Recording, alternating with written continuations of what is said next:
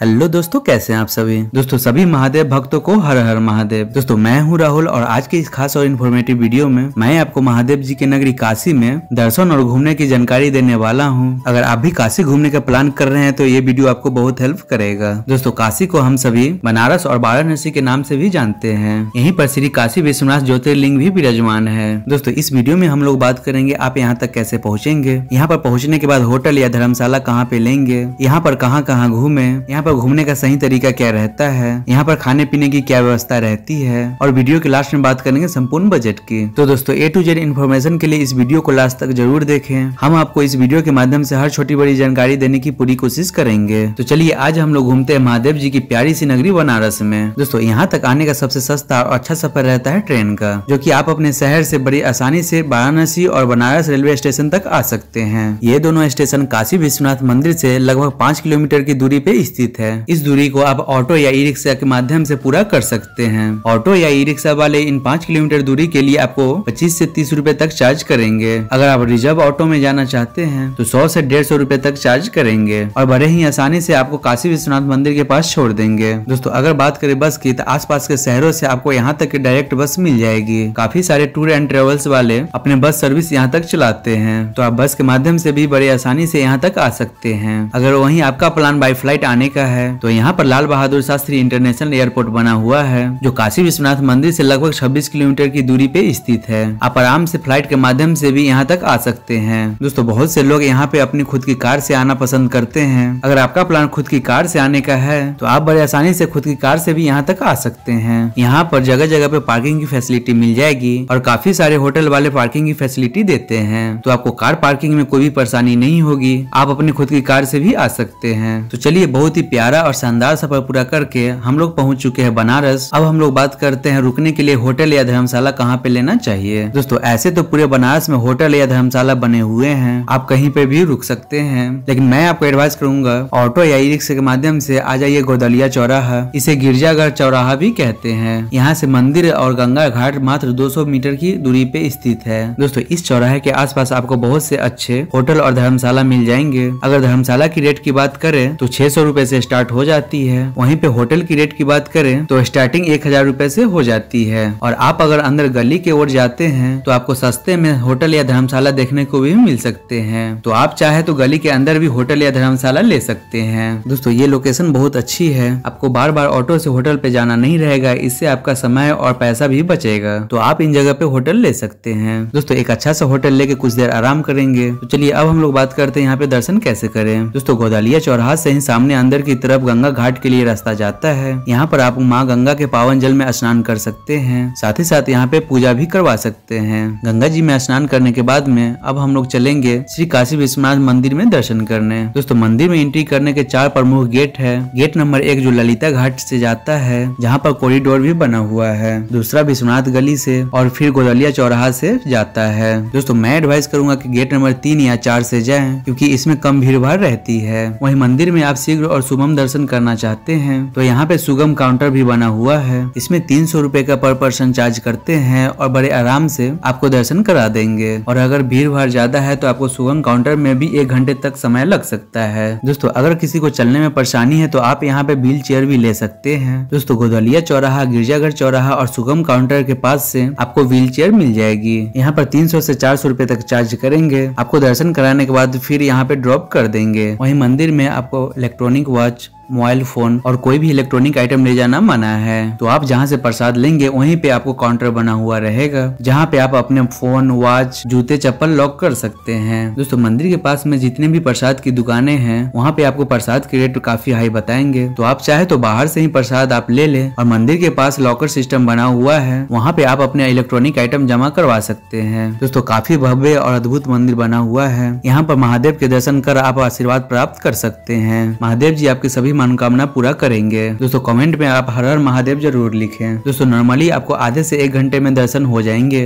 अगर यहाँ पे काफ़ी भीड़ भाड़ है तो आपको तीन से चार घंटे भी समय लग सकते हैं। तो महादेव जी के दर्शन करने के बाद अब हम लोग बात करते हैं, बनारस में हम लोग और कहाँ कहाँ घूम सकते हैं। तो यहाँ पे दर्शन करने के बाद अब हम लोग चलेंगे काल भैरव जी का दर्शन करने। मंदिर से लगभग डेढ़ किलोमीटर की दूरी पे स्थित है। आप यहाँ पे पैदल चल के भी जा सकते हैं, या आप चाहे तो ई रिक्शा भी कर ले। दोस्तों, कहते हैं महादेव जी के दर्शन करने के बाद आपको काल भैरव जी का दर्शन ज़रूर करना चाहिए, तभी आपका ये यात्रा पूरा होता है। तो दोस्तों, लाइन में लगकर यहाँ पर काल भैरव जी का अद्भुत दर्शन करेंगे। दोस्तों, काल भैरव जी का यहाँ पे अद्भुत दरबार बना हुआ है, जिसके अंदर जाके आप काल भैरव जी का दर्शन कर सकते हैं। दोस्तों, यहाँ पे अच्छे से दर्शन करने के बाद में अब हम लोग चलेंगे ललिता घाट। आप चाहे तो यहाँ पे पतली पतली गलियों से होकर 500 मीटर के डिस्टेंस कवर करके आप ललिता घाट पे पहुँच सकते हैं। या आप चाहे तो मेन रोड से आप ऑटो कर लीजिए, वहाँ से भी आप ललिता घाट पे पहुँच सकते हैं। यहाँ पर नेपाली मंदिर और पशुपतिनाथ मंदिर में दर्शन करेंगे, ये भी यहाँ के बहुत ही ज़्यादा प्रसिद्ध मंदिर है। तो यहाँ पर दर्शन करने के बाद में अब हम लोग चलेंगे श्री विशालाक्षी मंदिर में दर्शन करने। दोस्तों, ये मंदिर भी माता रानी का बहुत अद्भुत मंदिर है। यहाँ पर भी आके आप आशीर्वाद प्राप्त कर सकते हैं। यहाँ पर दर्शन करने के बाद अब हम लोग चलेंगे अन्नपूर्णा मंदिर में दर्शन करने, जो यहाँ से कुछ ही दूरी पे स्थित है। दोस्तों, मंदिर में दर्शन करने के साथ ही साथ अन्नपूर्णा रसोई भी बना हुआ है। तो आप यहाँ पे प्रसाद स्वरूप भोजन ज़रूर करें। बहुत ही स्वादिष्ट भोजन आपको यहाँ पे मिलेगा। दोस्तों, इन सभी मंदिरों में दर्शन करने के बाद में अब हम लोग आ जाएँगे दशा सोमेध घाट पे। दोस्तों, बनारस को घाटों का शहर भी कहते हैं। सभी घाटों का विशेष मान्यताएँ भी है। तो आप इन सभी घाटों का दर्शन करना चाहते हैं तो आप इन नाव के माध्यम से इन सभी घाटों का दर्शन कर सकते हैं। नाव वाले आपसे शेयरिंग में सौ रूपए पर पर्सन का चार्ज करेंगे। करीब चालीस ऐसी पैतालीस घाट के आपको दर्शन कराएँगे। वही आप चाहे तो पर्सनल बोट से भी जा सकते हैं। इसमें आपको आठ 800 से 1000 रुपए तक चार्ज करेंगे। अगर आप सभी चौरासी घाट को दर्शन करना चाहते हैं तो इसमें आपको 1200 से 1500 रुपए तक चार्ज करेंगे। दोस्तों, बनारस में नौका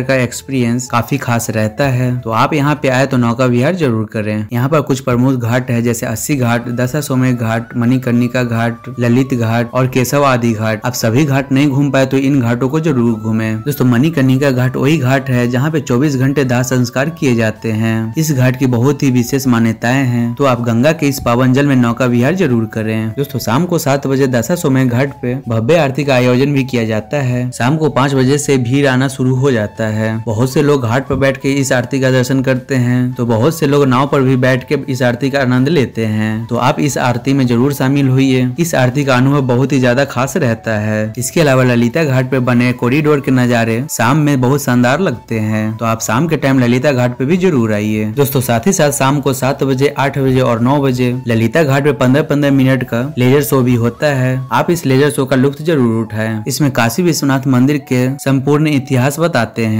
तो आप शाम को ललिता घाट पे ज़रूर आइए। आपको यहाँ पे आके बहुत ही अच्छा लगेगा। दोस्तों, इन सभी प्लेसेस पर अच्छे से घूमने और दर्शन करने के बाद में शाम में अपने रूम पे जाएँगे, रात भर आराम करेंगे और अगली सुबह हम लोग चलेंगे बनारस में जितने भी मंदिर है, सभी में दर्शन करने। दोस्तों, अब हम लोग चलेंगे यहाँ से कुछ किलोमीटर दूरी पे स्थित जो मंदिर है, वहाँ पे दर्शन करने। इन सभी जगह पे दर्शन करने का सबसे अच्छा तरीका है, आप ऑटो या ई रिक्शा बुक कर लें। इसमें आपको सभी मंदिर में घुमाने के साथ साथ सारनाथ भी कवर करा देंगे। ऑटो वाले आपसे हज़ार से बारह सौ रूपए तक चार्ज करेंगे और सारा दिन घुमाने के बाद आप जहाँ कहेंगे वहाँ पे ड्रॉप कर देंगे। तो सबसे पहले हम लोग चलेंगे माँ दुर्गा मंदिर में दर्शन करने। दोस्तों, ये मंदिर बहुत ही दिव्य और पावन स्थान है। यहाँ पे माता रानी के बहुत ही अद्भुत रूप से दर्शन कर सकते हैं। बहुत ही भव्य और दिव्य शैली में ये मंदिर बना हुआ है। साथ ही साथ यहाँ पे बहुत बड़ा कुंड भी बना हुआ है। तो माता रानी के दर्शन करने के बाद अब हम लोग चलेंगे अपने अगली मंदिर, तुलसी मानस मंदिर और श्री त्रिदेव मंदिर में दर्शन करने। बहुत ही भव्य और दिव्य शैली में दोनों मंदिर बने हुए हैं। यहाँ पर भी आके आप दर्शन कर आशीर्वाद प्राप्त कर सकते हैं। यहाँ पर अच्छे से दर्शन करने के बाद में अब हम लोग चलेंगे संकट मोचन हनुमान मंदिर में दर्शन करने। ये प्यारा सा हनुमान मंदिर बहुत ही पवित्र स्थान है। यहाँ पर आते ही सभी भक्तों को कष्ट दूर हो जाते हैं। दोस्तों, मंदिर के अंदर कोई भी इलेक्ट्रॉनिक सामान या बैग ले जाना मना है।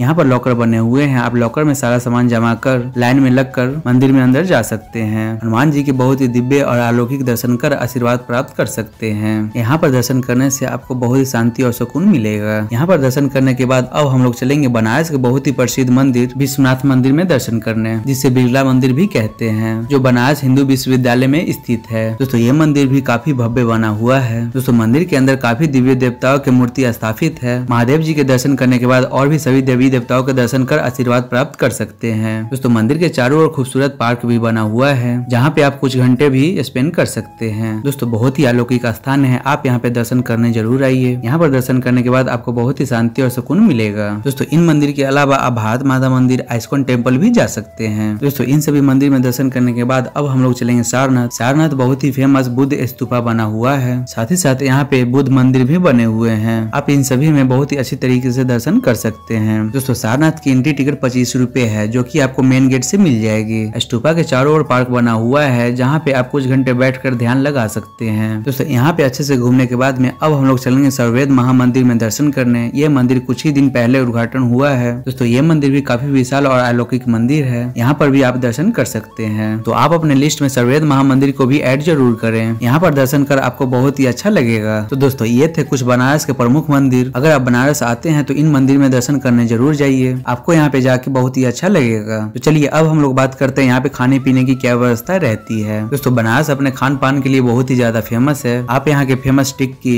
लस्सी, चाट कचौरी और बनारसी पान ट्राई कर सकते हैं। इनके टेस्ट काफ़ी अच्छे रहते हैं। और खाने पीने के लिए यहाँ पे बहुत ही बड़े और वीआईपी रेस्टोरेंट भी बने हुए हैं, जहाँ पे आप अच्छे से खा भी सकते हैं। इसके अलावा यहाँ पे आप स्ट्रीट फ़ूड को भी ट्राई कर सकते हैं। इसके भी टेस्ट बहुत ही ज़्यादा खास रहते हैं। तो बनारस में आपको खाने पीने की कोई भी कमी नहीं मिलेगी। चलिए, अब हम लोग बात करते हैं यहाँ पे आने का सबसे अच्छा समय कौन सा रहता है। और आपको यहाँ पे कितने दिनों का टूर प्लान बनाना चाहिए? दोस्तों, ऐसे तो पूरे साल लाखों और करोड़ों भक्त यहाँ पे घूमने आते रहते हैं। लेकिन मार्च, अप्रैल, मई, जून और स्पेशली सावन में यहाँ पर बहुत ही ज़्यादा भीड़ होती है। तो आपके पास जब भी टाइम हो, यहाँ पे दर्शन करने आ सकते हैं। बात करें कितने दिनों का आपको प्लान बनाना चाहिए तो मैं आपको एडवाइस करूँगा कम से कम दो दिन और एक रात का स्टे ज़रूर करें, जिससे आप बनारस के सभी प्रमुख जगह को एक्सप्लोर कर सके। तो दोस्तों, चलिए अब हम लोग बात करते हैं सबसे ज़रूरी क्वेश्चन बजट की। आप कितने बजट में इस प्यारी यात्रा को पूरा कर सकते हैं? दोस्तों, मैं मान के चलता हूँ की आप कम से कम दो या तीन लोग तो आएँगे ही आएँगे, क्योंकि दो या तीन लोगों में आपका बजट डिवाइड हो जाएगा। अगर आप टू डेज़ वन नाइट का प्लान बनाते हैं तो आप पच्चीस सौ से तीन हज़ार के पर पर्सन के बजट में इन पावन यात्रा को अच्छे से पूरा कर सकते हैं। इस बजट में आपका होटल